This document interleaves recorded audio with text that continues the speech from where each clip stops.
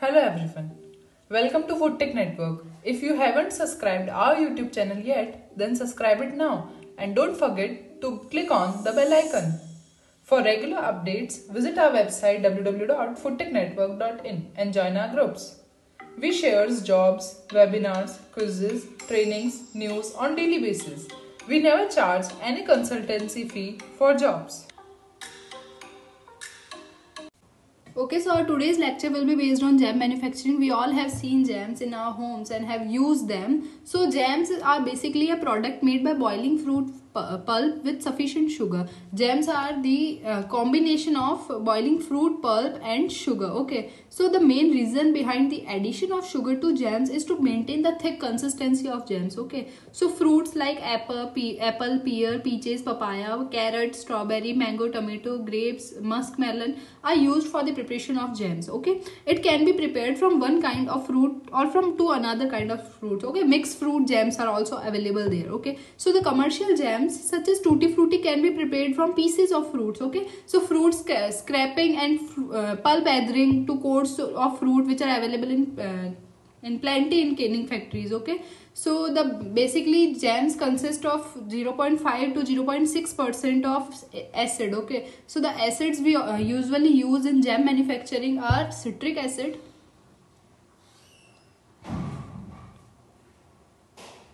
and tartaric acid okay? And there are many more okay? So uh, jams contains mainly 0.5 to 0.6 percent acid and invert sugar should not be more than 40 percent okay? So the total soluble solids like the fruit pulp pulp should be 65 percent okay? So and the invert sugar. Invert sugar what is invert sugar? Invert sugar is an edible mixture of two simple sugars that is glucose plus fructose Invert sugar is known as the mixture of two simple sugars that is glucose and fructose that is made by heating sucrose with water. Okay. Next is silent characteristics of jam okay? So some of the silent characteristics of jam is that the amount of pectin in the gel is quite small and the sugar is sugar content is very high. Uh, why we add sugar in it? To maintain the thick consistency. The more the sugar is the more sticky will be the jam okay? And for some uh, crunchy and chunky taste uh, some fruit pieces are just added before uh, 5 minutes of cooking okay? So uh, they are not be so much loose and they maintain no uh, they maintain a stiffer or sweeter taste okay? Next is fruit or fruit combination. As i have told you that uh, mixed fruit jams are also there. So there are many combinations like orange and banana jam apple and plum jam okay? So i have a data for you like uh, for the preparation of uh, apple apple jam okay? So like the, we have 1 kg of apple pulp. So then we will add 0.75 kg of sugar and 2 gram of citric acid and 100 ml of water okay? So what are the requirements for preparation of an apple jam? 100 sorry 100 ml water. Water then 1 kg of pulp okay and then 2 gram of citric acid and 0.7 gram uh, sorry 0.7 kg of sugar.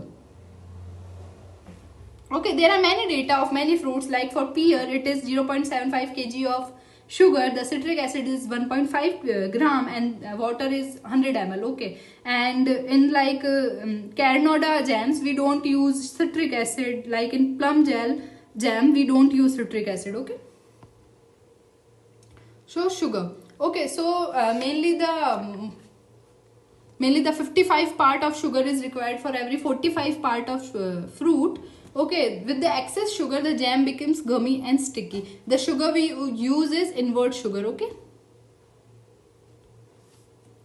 So the finished jam should have 30 to 50% invert sugar, glucose to avoid crystallization of cane sugar during storage. Okay, we don't use crystal, uh, uh, we don't use cane sugar due to the, the cane sugar crystallizes during the storage. Okay, acid the acid acids we use are uh, citric acid tartaric acid malic acid okay? The, uh, we can't we don't use acid in very much quantity. Acids are used in very small quantity like 2 gram 3 gram or hardly 4 gram okay? And then uh, there is an also addition of pectin in the gems pectin is added while, uh, while boiling and it it is also like uh, to maintain the ph of uh, okay of the jam okay. So it is not like it is added in bulk. It is also added in a small quantity like acid. Here are some FSSAI specifications for the jam production. That is fruit pulp should the concentration of fruit pulp should be 45% the the concentration of total soluble solids like pulp pulp should be 65% citric acid should be 5% and the preservatives should be 40 parts per million. Okay? So let us check the process of jam manufacturing in detail. Here is a flow chart showing the uh, jam manufacturing of pineapple okay? We are preparing pineapple jam here okay? So the first fresh pineapples are being sorted okay? As we have do done in canning like uh, first we grade the pineapples okay? Which are of best quality which are of same size okay? And then we wash them. Washing is mainly uh, done with chlorine water. Then we peel them. There are many mechanical peelers available in the market. Then we cut them crushing them to prepare their pulp. Then we weight them okay so the pulp should be 45% and the uh, sugar should be 55% and 4 gram of citric acid. To maintain this uh, concentration we always weight the pulp okay? Then we boil them then we add 4 gram of pectin then uh, jam gelatinization okay? That is at 163 degrees celsius for 15 minutes okay? Then we fill them in sterilized bottle then we always cool them and then the gel will be settled and then stored at a cool and dry place let us check the processes in detail. First is inspection. Okay so inspection is like uh, we always uh, inspect that which fruits are being spoiled. We don't use them. We always select some of the best qualities of fruits uh, okay? So uh, we always check that uh, their color are color is appropriate. They aren't spoiled from any any kind of microorganisms okay? And there are many salters in uh, in food industries after inspection that they are right or wrong they are right or not they are they should not be more uh, ripened and they should not be unripe okay? They should be uh, proper in their quality and if the quality is proper then we uh, sort them okay? Then washing for effective washing um, all we always use 200 parts per million of chlorine water okay? So the pH and temperature should be maintained and uh, by washing the microorganisms or some dirt or some insecticide pesticide residues on them is being washed and drained off okay? Then peeling there are many automatic mechanical peelers available in the market okay? But we don't always prefer mechanical peelers for uh, fruits and some quality of fruits like because they are they, they are in irregular shape okay? So in case of uh, citric acid and pine uh, apple okay? Just so these fruits can be hand peeled as in case of citric acid and apple okay? Note it. Next is pulping okay? So pulping is uh, done to remove the seed and core part okay there are many mechanical peelers available in the market for fruits such as mangoes peaches tomatoes bananas strawberries and celeries okay. So uh, there are many mechanical peelers okay. So then the, after pulping there is addition of sugar. The sugar being added is known as invert sugar and the more the sugar is there it it is the more the sti sticky the jam will be more sticky okay. So then we add pectin okay after uh, addition of sugar then we add pectin. So you know uh, sugar makes the jams sticky and the adding addition of pectin results in harder jam okay? So what's written here? Water can be added if needed okay? Addition of, in the pulp we add sugar and if needed the water can be added.